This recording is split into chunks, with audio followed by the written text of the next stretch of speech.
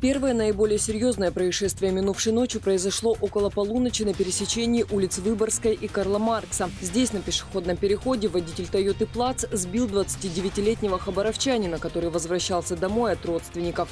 Не последнюю роль в исходе этого происшествия сыграли очевидцы, на глазах у которых все и произошло. Они вызвали пострадавшему скорую, они же пустились в догонку за сбежавшим водителем. Задержать разбитую иномарку одному из свидетелей происшествия удалось уже через километр метр. Рискуя сохранностью своего автомобиля, очевидец перегородил проезд нарушителю. Второго ДТП, к счастью, удалось избежать. Правда, водитель Тойоты Плац и не думал сдаваться. Выйдя из своей иномарки, он пошел прочь пешком, но был задержан уже подоспевшими сотрудниками полиции. А на месте аварии тем временем врачи скорой уже оказывали помощь пострадавшему горожанину. Мужчина находился в сознании, но было понятно, что травмы у него весьма серьезные. Уже позже автоинспекторам стал известен точный диагноз диагноз – перелом ноги, перелом теменной кости и ушиб головного мозга. Установить невиновность пешехода помогла запись видеорегистратора. Очевидец едет в попутном с Тойотой плац направлении в сторону Матвеевского шоссе. Будущий нарушитель едет с включенными аварийными сигналами. Самого момента наезда не видно, зато можно отчетливо разглядеть, что перекресток седан проезжает на запрещающий сигнал светофора. Водитель был пьян. Портативный алкотестер показал легкую степень опьянения.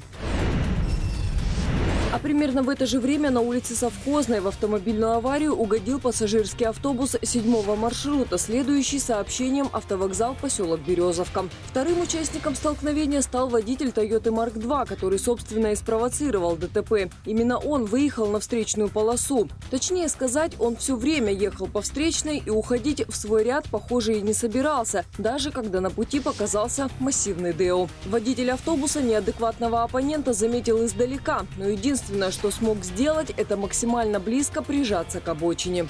Он по встречке, наверное, ехал. Я-то по своей полосе. Я аж на обочину ушел, и то он меня ударил. Седан, врезавшись в левый угол автобуса, сбрил металлическую обшивку по всему борту Део. Остановилась машина только через 10 метров. Повреждения Toyota получила весьма ощутимые. Просто удивительно, как люди, находившиеся в иномарке, а их было 7 человек, остались невредимы. Там водитель был, Два человека, два мальчишки, две девушки и двое детей. А еще дети, а дети совсем да. маленькие были? Ну, не знаю, ну не как маленькие, такие, ну. не грудные, но маленькие.